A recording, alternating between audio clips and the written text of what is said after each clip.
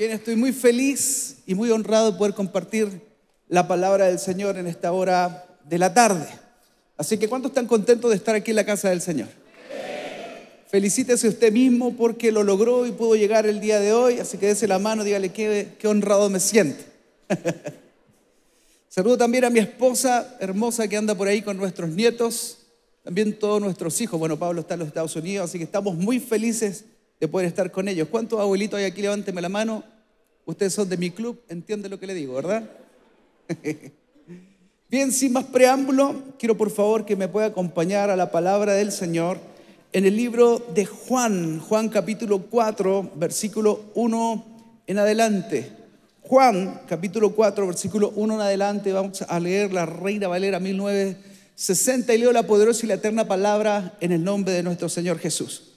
Dice, dice así, cuando pues el Señor entendió que los fariseos habían oído decir, Jesús hace y bautiza más discípulos que Juan, aunque Jesús no bautizaba sino sus discípulos, salió de Judea y se fue otra vez a Galilea. Y versículo 4 dice, y le era necesario pasar por Samaria. ¿Puede repetir eso conmigo? Y le era necesario pasar por Samaria. Versículo 5. Vino pues a una ciudad de Samaria llamado Sicar, junto a la heredad de Jacob, que Jacob dio a su hijo José. Y estaba allí el pozo de Jacob. Entonces Jesús, cansado del camino, se sentó así junto al pozo. Era como la hora sexta, o sea, las doce del día. Vino una mujer de Samaria a sacar agua y Jesús le dijo, dame de beber pues sus discípulos habían ido a la ciudad a comprar de comer. La mujer samaritana le dijo, ¿cómo tú, siendo judío, me pides a mí de beber que soy mujer samaritana? Porque judíos y samaritanos no se tratan entre sí. Versículo 10. Respondió Jesús y le dijo, si conocieras el don de Dios y quién es el que te dice, dame de beber, tú le pedirías y él te daría agua viva. La mujer le dijo, Señor, no tienes con qué sacarla y el pozo es hondo. ¿De dónde pues tienes el agua viva? ¿Acaso eres tú mayor que nuestro padre Jacob, que nos dio este pozo del cual bebieron él, sus hijos y sus ganado? Respondió Jesús y le dijo, cualquiera que bebiere de esta agua volverá a tener sed.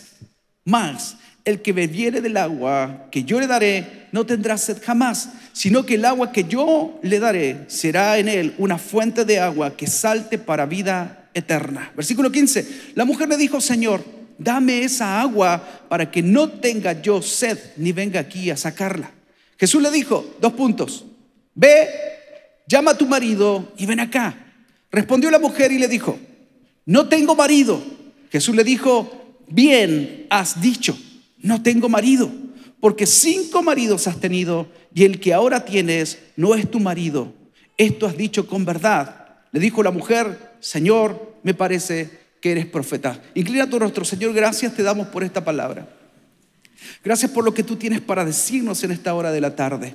Como lo digo en cada una de mis prédicas, permíteme ser nada más que un parlante por donde todos puedan escuchar tu preciosa, bella y hermosa voz. Señor, acallamos y silenciamos todo ruido a nuestro alrededor, ruido de deudas, de enfermedades, de preocupaciones. Y hoy solo nos enfocamos en lo que tú tienes para decirnos a cada uno de nosotros. Señor, recibe toda la gloria y recibe toda la honra de ahora y para siempre. Todo el mundo dice, amén. amén. Sé que esta es una palabra súper conocida por todo el mundo. Sé que muchas de ustedes dicen otra vez la samaritana. Samaritana 1, 2, la venganza de la samaritana, la samaritana ataca otra vez, etcétera, etcétera, ¿verdad? Pero creo que tengo algo del Señor para decirte en esta hora de la tarde y quiero que por favor puedas prestar atención de lo que vamos a hablar en esta hora. Una de las cosas bien particulares que me llama la atención es el hecho de que Jesús dice que le era necesario pasar por Samaria. El destino y el propósito de Jesús era llegar a Jerusalén. Tuve el honor junto a mi familia de ir a Israel y de pasar por aquella zona. Y créanme, es un desvío demasiado amplio como para poder llegar y pasar por Samaria. Y saben que yo no sé cuánto le estoy hablando el día de hoy, pero si una de las cosas que quiero decir como punto número uno La palabra me era necesario pasar por Samaria sigue vigente en cada uno de nosotros. Muchas veces a ti y a mí nos ha ocurrido que hemos tenido que pasar por circunstancias que no hubiésemos querido pasar. Cosas que nos retrasaron, cosas que nos hicieron perder tiempo, crisis o enfermedades. Muchas veces tuviste que ir a visitar a un familiar que siendo honesto no querías visitar. Tal vez muchos de nosotros de una u otra forma nos encontramos en el mall o en algún sector con un amigo o un conocido que no queríamos saludar. ¿Saben qué? No será necesario pasar por Samaria. Muchas veces lo que hemos evitado, muchas veces no ha sido otra cosa más que donde Dios ha querido tenerte para que tú puedas nutrir de palabra a otras personas. Para que tú puedas dar de gracia lo que un día de gracia recibiste. Muchas veces sin darte cuenta aquellas cosas que tratamos de evitar porque nos quitan tiempo, son muchas veces aquellas pequeñas delicadeces del cielo donde el Señor quiere tenerte, no solo para que tú puedas dar a otros, sino para que tú puedas recibir lo que Dios tiene reservado para ti. ¿Alguien me va entendiendo? Aquel proceso que de una u otra forma dijimos, ¿cómo llegamos a vivir esto? ¿En qué minutos? Si se lo escuché a mi pastor toda la vida diciendo que debía evitarlo. Hay cosas que simplemente por muy dolorosas que hayan sido, ha sido necesario pasar por Samaria. Hay cosas, y no sé cuántos aquí se van a identificar, que han pasado por momentos muy oscuros o muy turbios en su vida, donde dicen, pero ¿qué pasó? ¿Por qué me tuve que desviar hacia allá? Y parece que fue una equivocación. Parece como diríamos aquí en América Latina, parece que metimos la pata. ¿Alguien se identifica? Pero siempre Dios tiene el control. En aquello que tú pensaste que te equivocaste, en aquello que tú pensaste que hiciste mal, el Señor, te tengo buenas noticias, es experto en transformar lo malo en bueno. Póngale un codazo al lado, al de al lado, dígale, te están hablando, despierta.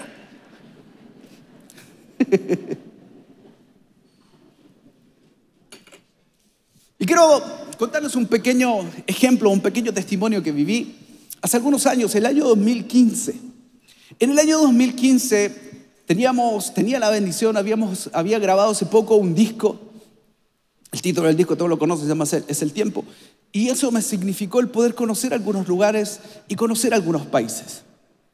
Un día un gran amigo eh, me invitó a una gira por Europa. Y fuimos a España específicamente. Habían varios compromisos, uno era en Italia, y, teníamos que ir a, a España. Y en España eran siete ciudades. Y, creo que no, lo he contado antes en el templo principal y lo voy a contar. Y fue muy triste para nosotros. El que me invitó fue Julio Melgar. Y fuimos a esa gira y fue impresionante lo que se vivió en diferentes ciudades. Comenzamos en Madrid y terminamos finalmente en Barcelona. Siete ciudades.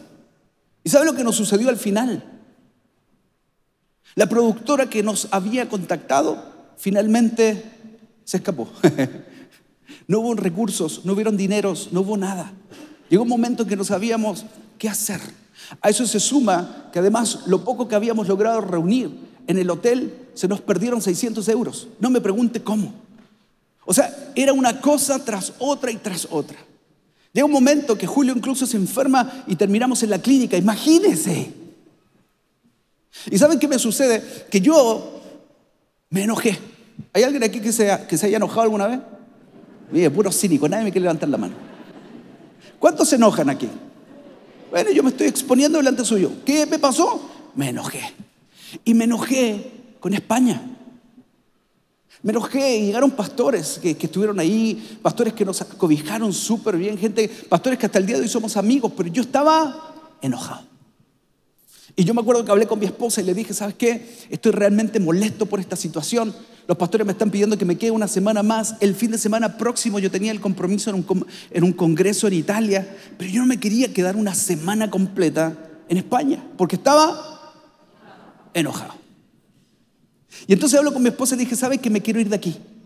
Y ella me dice, ¿pero a dónde vas a ir? No sé. Me dice, pero ve vuelos, vimos vuelos baratos y adivinen qué apareció. París, el pesado. Y compramos un vuelo y me fui a París solo sin conocer a nadie. ¿Y saben qué sucedió? Yo llego a París, adivine cómo llega a París. Enojado. Y andaba con mi maleta así, pero ¿cómo nos pasó esto? ¿Cómo? Si se supone que somos hombres de Dios, se supone que buscamos al Señor. Señor, ¿cómo permite? Así. ¿Cómo andaba? ¿Usted cree que me importó ver la Torre Eiffel, ver todo? Yo estaba enojado. Llega un momento que estoy tan molesto. Más encima fui a pagar un, el, el, ¿cómo se llama? El hotel. Y llego al hotel y nadie habla español. Y yo traté de hablar inglés, parece que los ofendí. Así que fue terrible, me acordé del francés de cuando uno estudiaba cuando niño, ¿no? y finalmente llamaron a una persona que hablaba en español, ella me interpretó y me hace la siguiente pregunta. ¿Usted quiere una habitación? Sí. Tenemos dos precios, una de 200 euros y otra de 250. Y dije, ¿cuál es la diferencia? Una tiene ducha y la otra no. Obviamente, ¿cuál tomé? La con ducha. ¿Qué me sucedió? Yo estando ahí seguía enojado. Y me llama un pastor de acá de Chile y me dice, ¿sabes qué? Me enteré que estás en París y yo quisiera que tú fueras con una familia. Y una familia que se fue en el tiempo del gobierno militar, finalmente se fueron y su corazón está como bien triste y bien dañado con todas las cosas que pasaron. Tú puedes ir para allá, ellos te quieren recibir y que tú te hospedes en su casa. Yo que dije, gloria a Dios. Resumen, terminé en esa casa. Y lo que Dios hizo en esa casa y con esa familia, gente que amo mucho hasta el día de hoy, fue tremendo. Lo que Dios provocó y la restauración en esa casa fue impresionante. ¿Sabe por qué? Porque me era necesario pasar por, por Samaria. ¿Saben qué lo más curioso? Que lo que Dios hizo fue tan impresionante. Año 2016, el Señor le suelta una palabra profética a mi hijo mayor, Jorge, y se gana una beca para ir a estudiar, ¿adivina dónde? A París. Fue impresionante lo que sucedió, el ver el corazón de nuestros pastores, gente que, se peleaban por, por pagarle el vuelo para irse. Fue increíble. Y adivine dónde se fue a vivir. A la casa de esta familia. ¿Sabe lo que te estoy tratando de decir? Me era necesario pasar por Samaria. Además, abro un paréntesis. Si que llegaba tarde, la hermana de esa casa me llamaba y decía, pastor, Coque llegó tarde. ¿Qué mejor? Así que lo teníamos controladísimo. ¿Y saben por qué te hablo de esto? Porque muchas veces hemos despreciado lo que significa pasar por Samaria. Y por eso quiero hablarte de algo importante el día de hoy. Y quiero hablarte de esta mujer llamada la samaritana. No sabemos su nombre, no sabemos quién es. Y hay una de las cosas, mientras estudiaba su vida, logré entender ciertas cosas que suceden en la psicología o en la psiquiatría y me encontré con algo que se llama el síndrome de la ventana rota. Investigando un poco más, me encontré incluso con un experimento, un experimento que se hizo en el año 1974, donde una mujer de 28 años llamada Marina Abramovich, que era una artista serbia, ella se prestó para este experimento. Un experimento que contemplaba solo seis horas, donde ella se iba a transformar en un mero objeto. Y esta mujer, que iba a ser un objeto, iba a estar en el centro de un lugar, en el centro de una habitación, un lugar amplio, un hall, y toda la gente que iba a estar a su alrededor iba a contemplarla, iba a verla, y iban a estar todos mirando lo que estaba sucediendo con ella. Había una mesa con 72 objetos, dentro de los cuales habían rosas, plumas, armas, incluso pistolas cargadas. Todas las personas que entraron ahí la empezaron a contemplar y durante las primeras tres horas solo hubo paz, amor y toda la gente la contemplaba. Tenemos algunas fotografías por ahí que muestran de lo que fue ese minuto y gente se le acercaba, gente le besaba la mejilla, personas trajeron una de esas, tomó la rosa y se la puso en su mano. Hasta ese minuto iba todo súper bien, hasta que se cumplieron las tres horas. Cuando entró ya la siguiente hora, la gente empezó a aburrirse y empezó a haber un cambio radical en todas las personas. Alguien vino y tomó un lápiz labial y comenzó a dibujarle en la cara y el pecho. Luego de eso, gente empezó a desgarrar su ropa. Posterior a ello, alguien tomó la rosa que estaba en su mano y aún con las rosas que tenía y la espina, le hizo una herida en el cuello y comenzó a beber su sangre.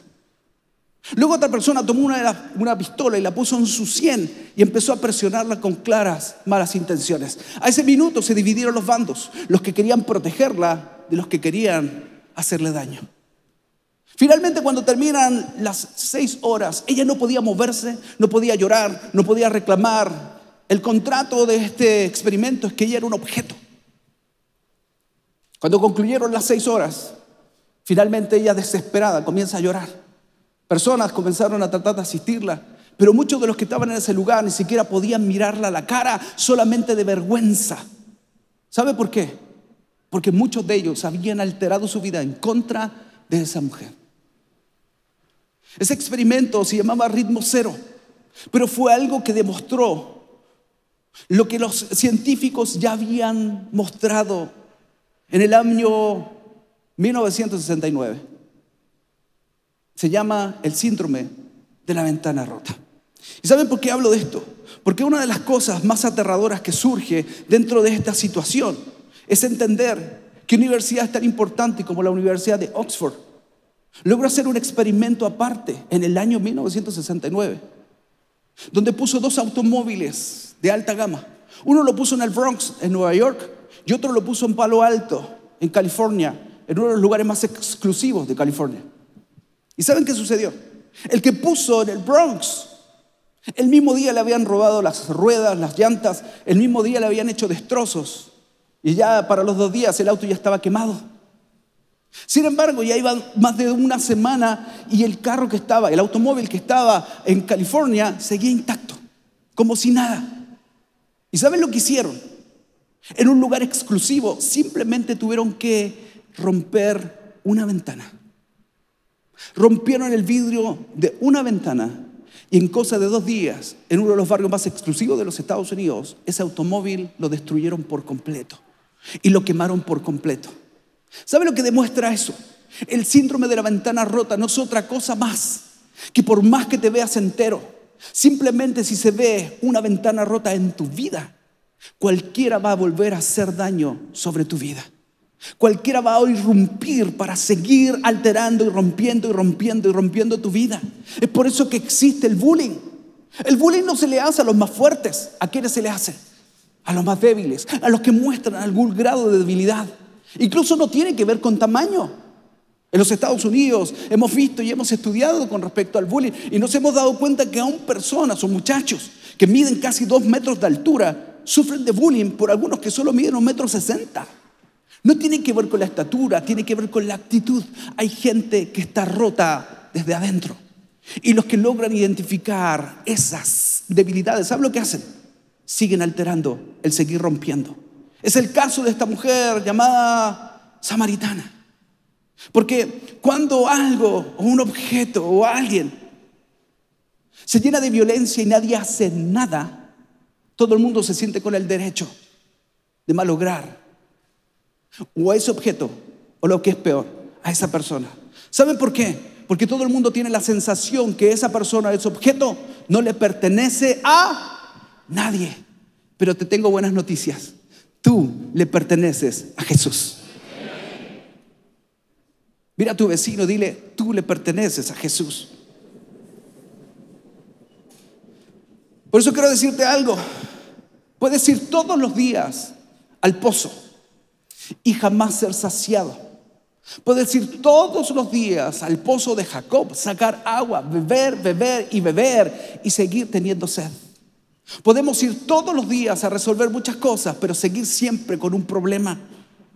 ¿Qué es lo que dice la palabra de Dios? Juan 4:13 respondió Jesús y le dijo, cualquiera que bebiere de esta agua volverá a tener sed. Más el que bebiere del agua que yo le daré no tendrá sed jamás, sino que el agua que yo le daré será en él una fuente de agua que salte para vida eterna. Por eso Jesús le dice, porque cinco maridos has tenido y el sexto que hoy día tienes ni siquiera es tu marido. El Señor logró descubrir las falencias de una mujer rota, de una mujer con una ventana rota. Y le estoy hablando a mucha gente que nos está viendo a través de la transmisión, a través de la televisión. Y hoy día simplemente te voy a cambiar la frase. Jesús le dice, cinco maridos has tenido y el que hoy día tienes no es tu marido. Y ya te pregunto, cinco pastores has tenido y el que hoy día tienes no es tu pastor. Cinco congregaciones has tenido y la que hoy día tienes no es tu congregación. Buscando día tras día aprobación en diferentes lugares porque somos inestables. ¿Sabe por qué? Porque estamos rotos. Porque hay una ventana rota y saben que lo peor, que una ventana que no ha sido otra vez reparada y reemplazada, entonces siempre vas a tener el mismo síndrome. Y dígame si no es cierto y no quiero que nadie me levante la mano, pero aquellos que ya han pasado por cosas desafortunadas, aquellos que han pasado por una relación tóxica, adivine qué sucede con la siguiente relación. Es igual de tóxica y hasta peor.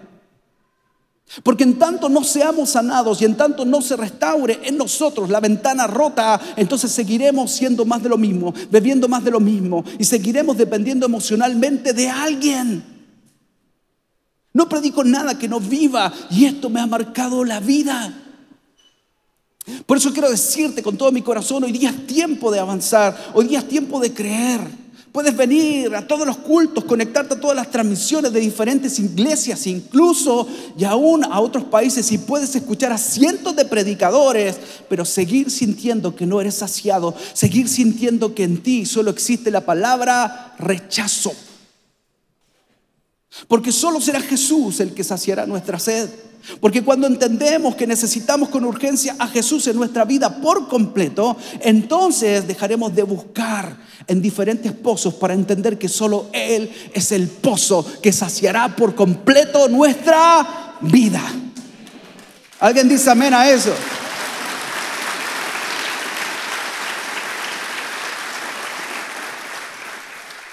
Por eso nadie pudo saciar la sed de la mujer samaritana. Por eso los cinco maridos que tuvo el sexto, que tampoco era su marido, ninguno trajo paz sobre ella, porque solo vieron en ella una ventana rota. Es por eso que cada uno de ellos solo siguieron rompiéndole el corazón, solo siguieron destruyendo sus emociones a pedazos. Hasta que un día, ¿qué creen? Hasta que un día llegó a su vida, ¿saben quién? El séptimo hombre el séptimo hombre. ¿Saben quién fue el séptimo hombre? Jesús. Jesús es tu séptimo hombre. Cuando Jesús aparece en la historia, cuando Jesús aparece en tu vida, todo cambia. Cuando Jesús aparece entonces en tu pozo, todas las cosas que hicimos hacia atrás, ya no podemos cambiar absolutamente nada. Pero cuando Jesús aparece en tu historia, todo es transformado. Todo espíritu de rechazo se va, todo quebranto desaparece, todo trauma de la infancia se va.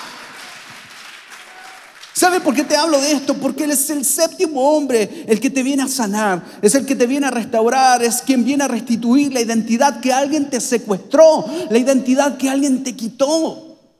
Pero eso hay tanta gente esclava emocionalmente de otros.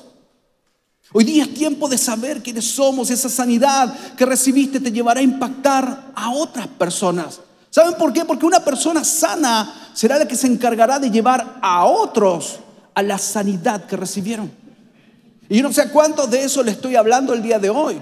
Porque tal vez muchos de los que están aquí congregados en esta noche responden a que simplemente alguien que estaba roto te mostró y te dijo, ven y ve, que hubo uno que dijo todo lo que yo había hecho y hoy día lo quiere hacer también en tu vida y traer salud, traer sanidad, restitución y una nueva identidad en tu vida. Hay de esa gente aquí. ¿Sabe por qué te hablo de esto? Porque tal como la samaritana, hoy día necesitamos ser esa generación. Por eso me encanta lo que dice Juan 4:39. Dice, y muchos de los samaritanos de aquella ciudad creyeron en él por la palabra de la mujer que daba testimonio diciendo, me dijo todo lo que he hecho. Yo no sé cuántos samaritanos hay aquí en esta noche Samaritanos que vas a comenzar a marcar tu familia, a tus amigos, a las personas en el trabajo, a las personas en la universidad, a las personas en el colegio, donde sea que tú te muevas, que literalmente la gente pueda decir, ¿qué te pasó? ¿Qué fue lo que Dios hizo contigo? Antes ni te reías y ahora no paras de reír. Antes tu chiste era lo más fome de la historia, hoy día me río sin parar. ¿Alguien dice amén eso?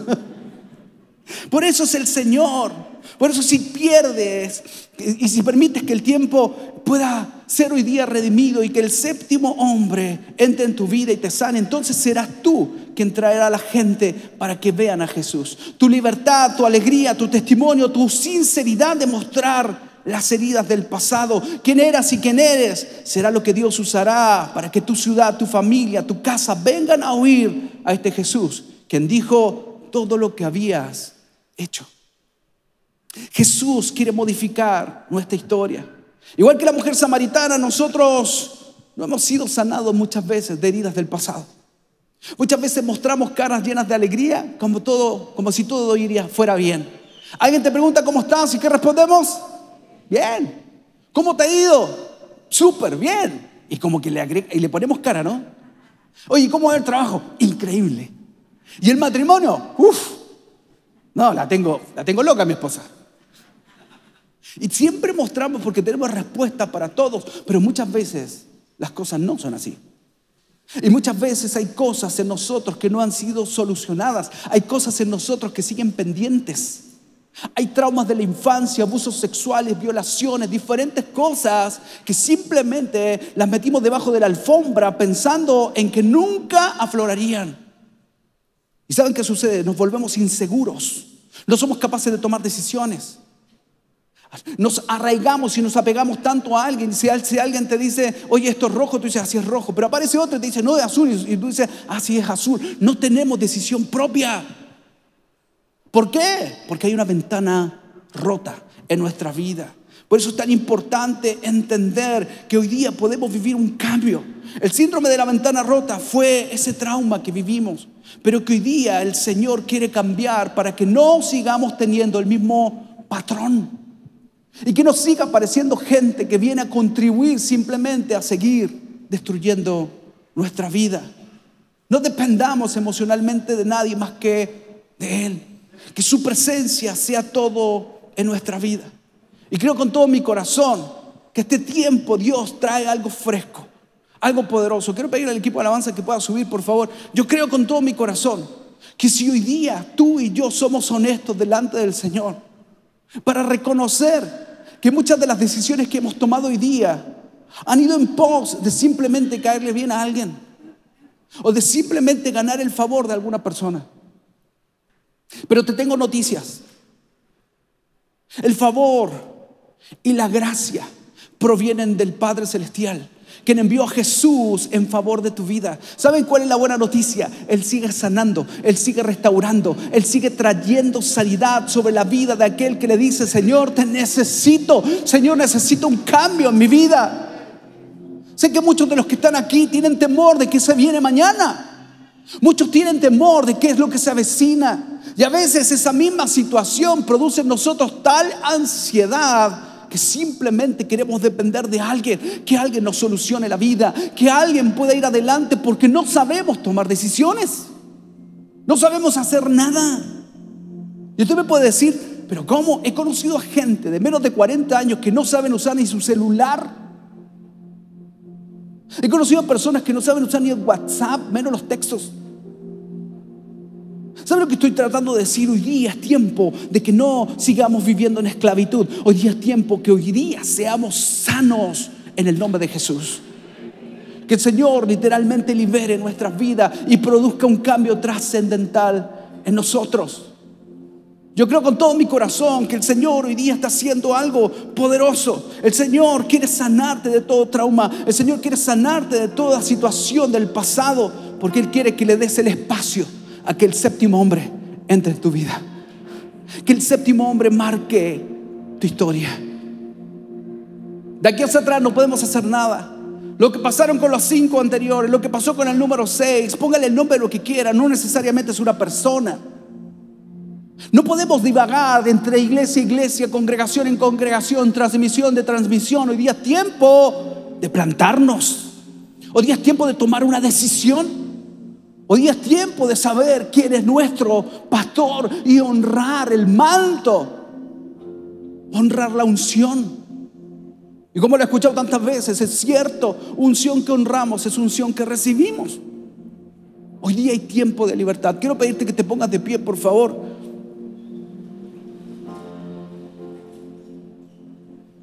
Gracias, Señor. Te adoramos, Jesús.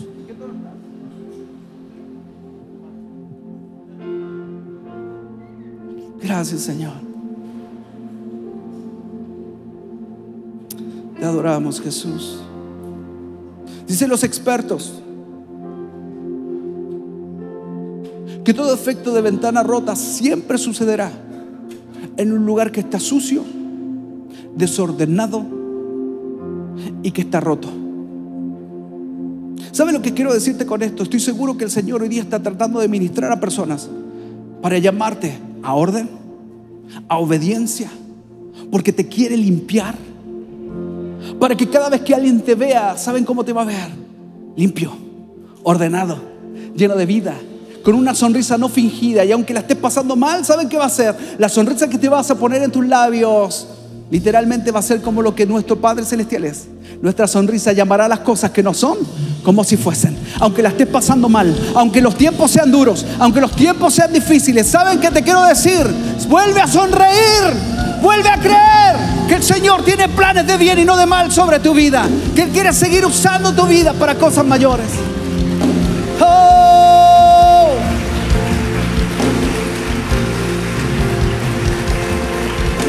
Tenemos tanta ansiedad de no tener el control de las cosas. ¿Sabes qué? Te tengo noticias. Nunca tendrás el control de nada. Suelta el control y entrégaselo a Él.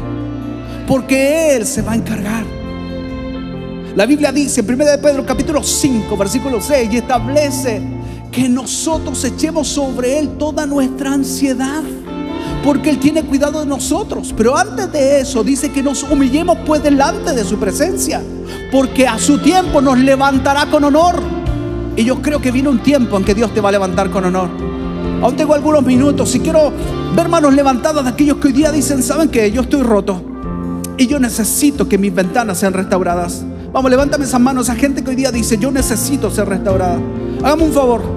Tengo apenas algunos minutos. Quiero que corra aquel altar. Vamos, venga, venga, corra al altar. No por mí, no porque yo se lo digo. Corra el que puede restaurar, el que puede sanar, el que puede hoy día literalmente reconstruir tus ventanas para que todos los que te vean te vean entero, te vean potente, te vean poderoso, te vean edificado, te vean con nueva fuerza, te vean con una nueva unción sobre ti. Aleluya. Quiero decirte, muchas veces toda la gente puede vernos bien parados Aparentamos porque somos expertos en fingir, dígame si no. Y mostramos que todo va bien. Aún podemos ser músicos, ministros, podemos ser el presidente de la República, quien sea, con cosas no tratadas aún. En estos últimos meses he vivido verdaderos kairos en mi vida, sanando muchas cosas en mí. Cosas que ni siquiera sabía que existían porque me engañaba pensando que todo iba bien. Fue tanto así que logré darme cuenta que muchas veces en el templo principal yo amaba estar abajo y, ver las filas de gente que pasaba. ¿Saben por qué? Porque yo sentía la necesidad de saberme amado. Eso significa que aunque iba al pozo, no iba al pozo del Señor, iba al pozo de Jacob. En el pozo de Jacob tú siempre tendrás sed. ¿Sabes lo que te quiero decir? Hoy día el Señor quiere hacer un cambio trascendental. Quiere sanar todo en ti. Deja de poner la excusa de los abusos que viviste. Deja de poner la excusa del maltrato de tus padres. Deja de poner la excusa es que no tuviste las mismas oportunidades. Que naciste en la pobreza. Que naciste en la miseria. De la violencia intrafamiliar. Hoy día cada una de esas cosas son solo excusas. Porque hoy día el Señor te quiere sanar de verdad. No te vas a ir de aquí esta noche sin ser sanado por la presencia del Señor. Vamos, levanta tu mano y repite una oración desesperada.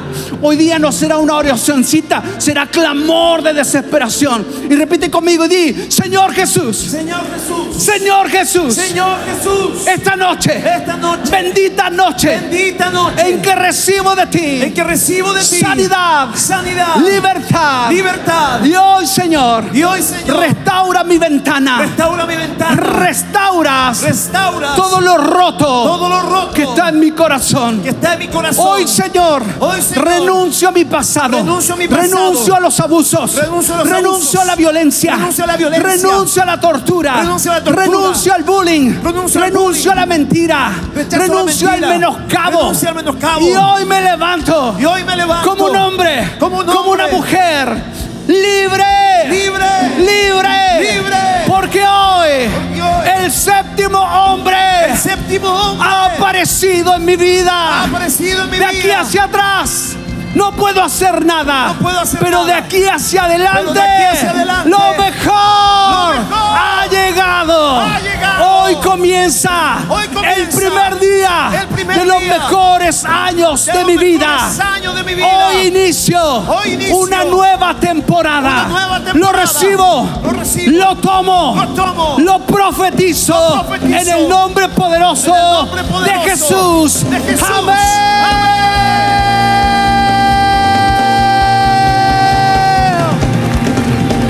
Recibe tu libertad, recibe tu sanidad en el nombre de Jesús. Decláralo, soy sano, soy sana, soy sano en el nombre de Jesús. No más esclavitud, nos levantamos como guerreros, nos volvemos a poner de pie como Él te llamó. Aleluya.